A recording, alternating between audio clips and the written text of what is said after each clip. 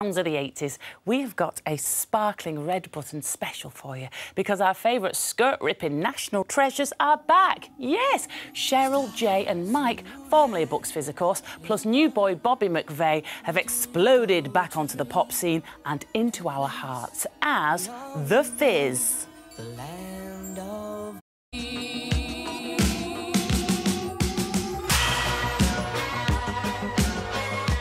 They'll be perched on my sofa very shortly to tell us all about their new album and tour.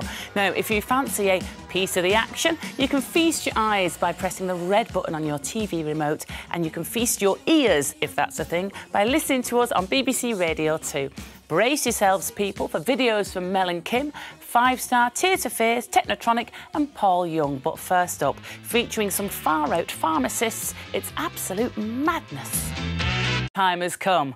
We're about to get busy with the fizzy. And when you can see Woo! how it's gotta be, you're making your mind up.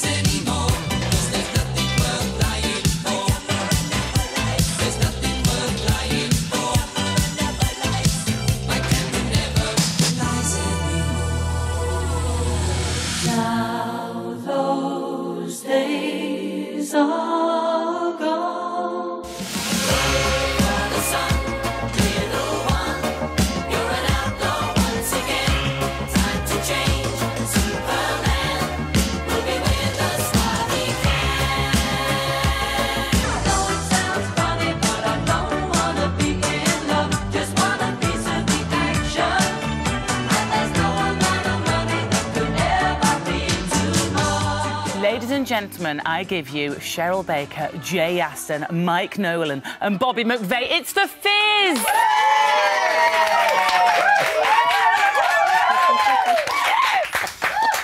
wow.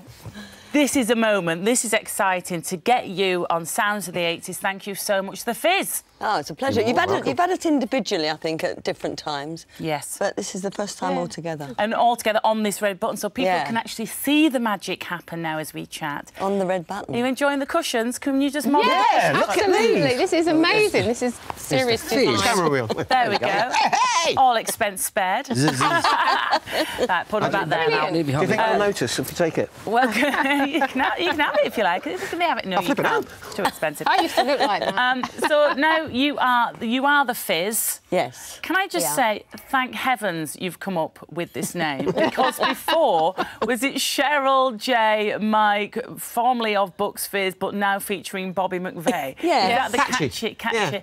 Has something legal happened that means you're now allowed to use the Fizz, or have you just had a bit of a hang on a minute? No, a revelation. Mike Stock, isn't it, who did that, really? Yeah, he said Mike Stock did it because Mike produced our album. Yes. And we, we, we met about 18 months ago. We started the album. We've Yeah. actually finished it now. And we were trying, he was trying to think of a name for us to go with. And we couldn't use the name Bucks And we didn't want to use it anymore. We were trying to think of another name Yeah. that would be connected to it.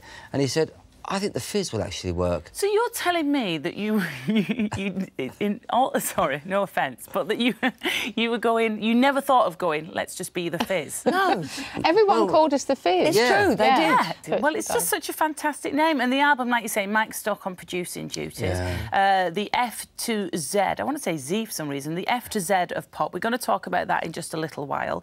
Um, we're going to take you right back now, though, to the beginning of, of Bucks Fizz. So obviously this is before Bobby's time. This is, this is with Bobby Baker, G. Bobby G, and Michael Nolan. Song five, Making Your Mind Up. Introduced by Sir Terry Wogan, of course. Here we go. Oh my, looking at it like that is quite amazing.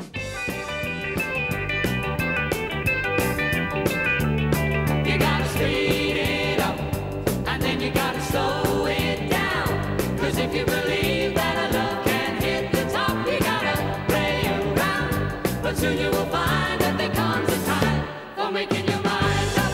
Here we go. He still says, here we go. Oh, dear. time. Yeah, it's just gone. Or sometimes he says something rude.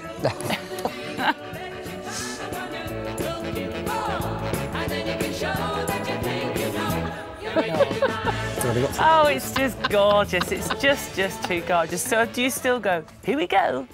Yeah, it's just I started doing it, and I can't seem to stop doing it now. Except the show just said, I don't always say that to. her. I say something else to her, which I can't tell you what I say. I'll tell you after the show. It's rude.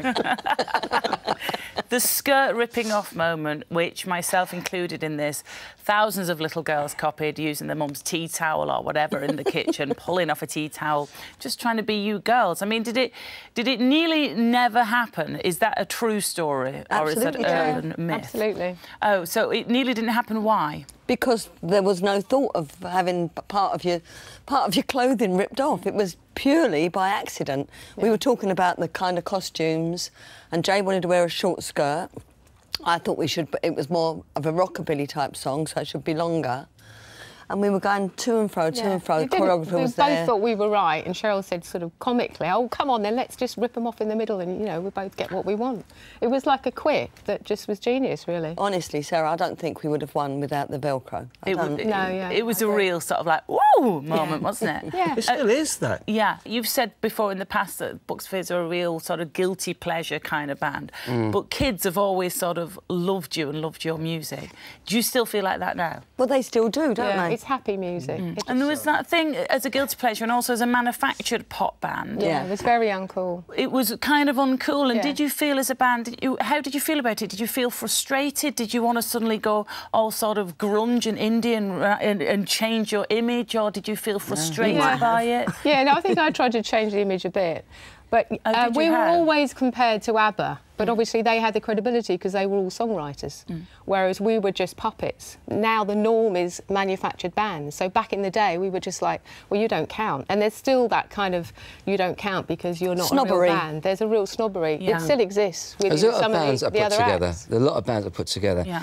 I mean, One have D were put together on Look X at One Factor, Direction. they? So- Look at- Yeah. They were just put together from X Factor as individuals, and look how successful they've been. Well, Yeah. we, we keep saying Yeah. that um, Song for Europe is really the granddaddy of your pop idol, your X Factors, because you go in there as a nobody.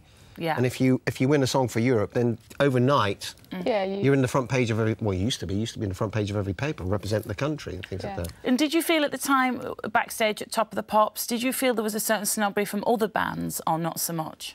No, not really. Not really. I didn't feel that at all. Not really. They were all really. really friendly. I mean, probably the closest because our single to release at the same time was Human League, and Human League, uh, the, I think the opposite spectrum totally. to us. You know, Antithesis, yeah. in, in in the pop industry. But we got on really, really well. In fact, you and Suzanne were, had a fantastic relationship. Mm. Yeah, we didn't you? did, and they and they came to see the shows as well, and they didn't care what people thought because they just enjoyed it. Yeah. And there's lots of bands. It's like Duran Duran and Spandau Ballet. They they like Bucks Fizz.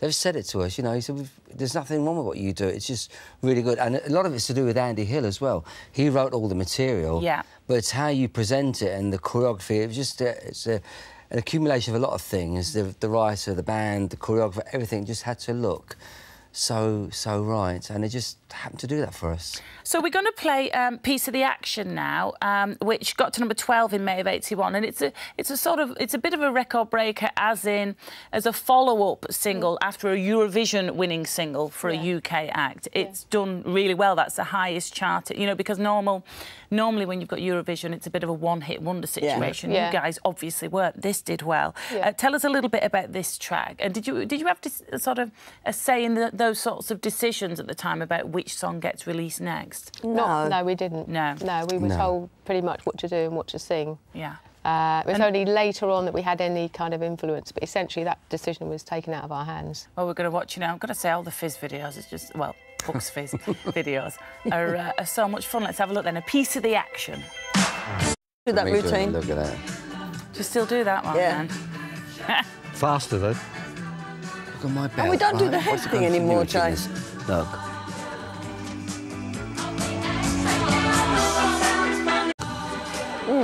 Yeah, it was good. It's a bit tricky standing on that piano though.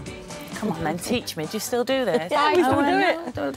Nice, At the end of that video, my not knees easy. were back. Slap left. Yeah, you've got to learn all these I- dances then, Bob. When, when the guys asked me to join, I said, OK, um, I'll learn the dance routine. So I'm going through YouTube, go. all the videos. OK? And so when I come in and I say, right, we're going to do this and we're going to do that, and we'll be halfway through a song and I'll sort of stop and they go, What's the matter? I said, You're not doing it right. And they go, I beg Yeah. your pardon. We've been doing this 35 years. I went, You're not. Look, look at the video. And they're going, Oh, we're not. so um, it always looks in the videos like you and Mike are having a real laugh because you have to go up close to each other and it just looks like there's so many sort of little secret jokes going on there and messing about. And Was it still happens. Yeah. Still happens on stage. We'll go right up. But sometimes we'll snog. Yeah, she keeps kissing me all the time. I said, stop doing it, will you? Because you're irresistible, mate. That's clearly what it is. Obviously, Jay, it's a bit different for you because you did have Bobby G. And Yes, now I you've didn't got... want to snog Bobby G. No. and how do you feel about this, Bobby? Well, I knew Bobby because he used to go out with one of my best mates, so I he, so I know Bobby from from old. So it's not like he's somebody that none, none of us know. Yeah. He used to come Yeah. on tour with us because hmm. his because Jay's friend was our dresser. Hmm. When we had our big tour buses going around everywhere, and Bobby used to come and be, be on the bus regularly Yeah. in the early he 80s. always- so we you- knew him. Uh, a recent interview has made a lot, especially you, lady, about trashing hotel rooms. Oh, we never did that. Generally being wild. um, I read a, a recent interview. Is that still happening? You know, should the, you know, when you're when you're on tour now, should should people be sort of nailing down the tellies in case they get out the Listen, it's, window? that's We never never happened. trashed Never it. happened We at all. never Explain trashed it, show. Explain it. We did used to play practical jokes, and so if you went to the bar after the gig, you'd go to the hotel and you'd go to the bar. Someone dared, stupidly, to leave their room key on the table while they go to the toilet. We'd go, get the key, run up to the room, turn it upside down, everything, plant pots, everything, or once we emptied it completely, bed and everything. No, Or apple pie the bed, so when they get in, they their feet won't go further than that. It's great fun. when I read that, I just thought that sounds exhausting to actually clear a room of furniture. I mean, you're ne- you were nearly enough bucks for the removal company to, to get all that stuff out of the door. It's Probably such a had more money. faff. And obviously, I imagine you'd had a sherry as well, so to try and you know get it out the door, amazing. Um, so there's been some highs and lows with Bucks Fizz as a band. A terrible low was was obviously the coach crash that happened. You two horribly injured. Mike, um, you were you, you fell into a coma, didn't you? The good thing about it is Cheryl and I definitely don't remember anything about that, uh, which is a, re- a relief. The rest of the band and everyone else that was on the coach all remember it, and it's and it horrifies them to even talk about it. I didn't know what happened to me, and it was just very very strange. It was just like um, it's like you died and come back again, and I need to restart. Well, you practically did. Yeah, he you had the, did. he had the last revived. rites. So. Yeah. Yeah. But when after the coach crashed, because he had um, a blood clot removed from his brain, which obviously, if they're removing the blood clot, they're removing part of the brain as well, and it affected him considerably. It took him a long time to get over it, and um, and even though we went back to work six months later, he was so down and Oh, Introverted. really tired was. and Totally depressed different and personality. completely different person. It was just a shock that we'd had such an amazing ride of luck. And then suddenly, like some higher being had said, actually, we're going to just stop this for you. And it, it was dreadful. And I watched Mike, um, I'm going to get upset now, being walked on reins because he couldn't walk, he couldn't talk, he couldn't eat, he couldn't write, he couldn't do anything. So it was like having a child that had to be, you know, to grow up again and had to teach him everything. And I was in the next room, we had security on the door, and he walked past me. I was in a wheelchair, and I looked at him. And I totally didn't, I had no idea it was Mike because he was utterly different mm. because he'd obviously lost a lot of weight and his head was shaved. And I'll never forget that. So it was very traumatic. Yes. Yeah. I did read that you asked the ultimate pop star question just before you passed out, or is that not true? Well, you know what? that, that is actually true. because I met the guy. We went back to Newcastle. We did a show up there, and it was the anniversary of the accident. Mm. And we met the people who looked after us, the ambulance guys and the, the medics and everything like that. Wow. And this guy turned around and said, "You're very together now, aren't you?" So I said, "Yeah, do I know you?" So he says, "Yeah, I'm the the guy that was in the ambulance." He said, "And you woke up?" And I said to him, "Has my face been marked?" And he says, you pop stars, you're all the same, aren't you? He said, your face is perfect. I said, thank you. I went out again. Amazing. Love and, I, and I didn't believe it. I, I thought, but someone else told me. I said, so it's a true story. Oh, fantastic. It was so lovely to Must see have him. It's been though. amazing to see them all. Yeah, again. amazing. Incredible people. It really Well, I kept in touch with one of the nurses who looked after me all the time. And she came to a gig Margaret. last Yeah, week. she came to a gig Close the other night. What's friend. she called? Uh, Margaret Sayer. Oh, hi, Margaret. Oh, she's Margaret, lovely. Margaret and her crew. Thank yeah, you but for they, they, they're such Yeah. great people, and they've come to the shows and things like that. And when you see them, you just welcome them. They're, they're the people that saved all our lives. Yeah. It's Well, you'd so think, you know, going through such a traumatic event as a band would would sort of, you know, bond you together forever, but it wasn't meant to be. Bobby G is no more in the band, anything to do with you. But Bobby is here. uh, tell us about when it was. It please tell me it was a phone call. Like you're in the band, kid. how did how did this happen? Sheriff Amy said, "Look, we're doing a, a big tour at the end of the year. Would you be interested?" And I said, "Well, let's let's try it. If it works, it works. If it doesn't, if it doesn't." Right, and, it's luckily- clearly yeah working. Mm. Exciting. It works better than ever. Better than ever. Better than the very beginning. really. And I know there would be Fizz fans watching this disagreeing, but from a personality point of view and from a performance point of view, it's the best we've ever been. You feel like you're just a solid four now. Yeah. and we have fun as well. You know, Yeah. there's no, uh, you know, I, I can, you know, they all they, they, they don't do that. but we have fun on the road. We really do. And I mean, I can tell. I mean, this this Yeah. is this screams fun at me. I'm the most. I, I'm very serious. I like to get everything done proper. Yes. I like everything to be done It's proper. serious one. Yeah. um, so we're going to play this song now, which was actually it was well received by the NME and the Guardian. Uh, My camera never lies. Yeah. Did you read press at the time? Do you remember ever Yeah. reading, you know, about It was it was lovely. reviews. It's an interesting song. Yeah. And I think it also gave us a bit more musical credibility. Yeah. Um, and musos now, when we do festivals and we have bands that come in and just play the song, that's the song they always actually find quite complicated because they all think it's going to be making your mind up. But a lot of the musicality in our in our set is actually quite complicated. I mean, making your mind up. You, you want to watch a bass player try and play making your mind up. You get this smoke coming from his fingers. so you know, it- it's. But but you see, our writer Andy Hill was a bass player. yeah. So you know, there's always intricate bass lines.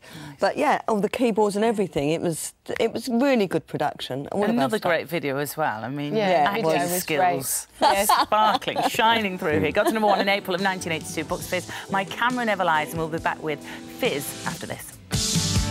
So great tune. So the new album, the F to Z of pop, features this song. This one, Land of Make Believe and Piece of the Action, just done using today's technology. Really, we do when we do it live, we do all the same routines and everything. So Incredible. Yeah. They're all still there. Yeah. Were you a, were you a natural with all the dance routines? uh, yeah, I love dancing. Do you I love mean, it? Yeah, I love it. But I've never had a dance lesson in my life. No. So, but I yeah, I love dancing. You've not done Strictly, have you? No, no, I've been put Oh, up for it. Every year. I'm put up for it. Do you not fancy it? Yeah, of course I do. I'd chew my arms off to So be would I. That video is uh, incredible, Mm. particularly enjoying Marilyn Monroe. Uh-huh. Oh, Very special. Um, and you were Cleopatra at one point Yeah. as well. Did you have a lot of fun when you were making the videos? Oh, that was amazing because I had to open the box and there was a real asp in it, which fortunately had taken the, the bad stuff out of. But it literally came up and did exactly the right thing and then went back down again in the one shot. And it was literally one shot. Very professional. There was a bit where it was um, Gone with the Wind, Yes. and I was Scarlett O'Hara, and Bobby was Rhett Butler. Yeah. And they padded his face out to make him look like Clark Gable, and and he looked a bit like The Godfather. And I cried. They, they couldn't film it. It took ages. I was wetting myself with laughter because I thought it was hilarious. Um, tell us about this new tour. You're midway through then Yeah. touring um, the F to Z of pop. So all the hits, which a few of them are on the new album anyway. Yeah. Um, tell us about the tour. What can people expect if they come along and see the Fizz? Nostalgia. You get a selection of all the all the big hits, all the number ones, all the top twenties. Yeah. And then we've got a selection of the, the new one from the New FZ songs. Pop. So you've got tell us about the new one. So Mike Stock producing. Must be exciting to perform new songs. Though, Yeah. be Yeah, Yeah, new it songs. really Have brings the audience a new liked them so energy to it, Yeah. and it's all exciting again because yeah, we have done the hits, obviously, and they go down incredibly well. But to have new material, we've had so many fans come up and say, "You have no idea how brilliant it is for us to watch you doing new stuff." Yeah, they You'll say it's know like being this. eight again. But you know what? You've got so many fans. I'm sure you know this anyway. But of all the bands that I play on Sounds of the 80s, your music always gets the biggest response. We're always getting requests for your music. People, there's a real, you're kind of national treasures, guys, aren't you? I think we, we, we said come up with something the other day that, um, as Mike pointed earlier, that mm. people were, were embarrassed to say that they liked Fizz back in the day. Mm. But today, there was even a journalist who did a big, fantastic review of one of the shows off the tour, mm. and he said, I, I'm. I'm making my mind up. I don't give a damn. I don't care about going to the pub and telling my mates that I've just been to see the Fizz in concert. And what a... So we're now calling them Closet Fizz. No. There are all these Fizz fans coming out of the closet. And it, it's, it's the, the 80s nostalgia. I mean, your show, when we were on tour, we listened to you. I know we get Yeah, texts yeah. sometimes and we get so excited. It's me. And I'm I'm always front like, oh, can we play them? We've got to play them now. um, OK, so we're going to end. It's been fantastic chatting to you all. It's always lovely to see you. Hope to see you backstage at some point in a field at Are you gonna come to any of our festival. shows? I'm going to try my best. You've I'm going to bring my lovely producers and we're Oh, going to come come. on, you'd really- Yeah, aren't you at Benidorm at the end of the tour as well? Come to Benidorm. See you in Benidorm. I think so. Uh, we're going to end with Sledgehammer from Peter Gabriel. I think you chose this one, didn't you, Cheryl? Why do you love this song? I mean, the video. I love Peter Gabriel, but the, yes, it's the video. I mean, it was it was just groundbreaking. I thought it was amazing. And when you see all the sledges going in his head and it morphs into Yeah. fruit and things, I just think it was brilliant, brilliant video. It's brilliant. We're going to uh, enjoy it now. And thank you very much, The Fizz. You've been you. Thank you. fantastic. Thank you very much. All details, I imagine, online if you want to get those last tickets to go and see The Fizz play live. In the meantime, I think we've got to go wild again, haven't we? For The Fizz! That's very good for them. Here it is, Sledgehammer then from Peter Gabriel. It's fantastic. Sledgehammer, an iconic 80s song by Peter Gabriel, and iconic Naked Chickens, courtesy of Aardman's Nick Park. Absolutely cracking video choice from The Fizz. Thank you very much. And again, thank you for being such superb guests. I've loved every minute. Uh, if you want to relive the magic again, you can watch our chat anytime you fancy, bbc.co.uk slash radio 2. Now then, any cheers for Fizz fans in the hizzy house? Good job said, yeah, that could have been awkward. I have a date for your file of facts, so grab a Parker pen. Details to follow after this thoroughly good tune about sowing seeds. thoroughly. Do you get it?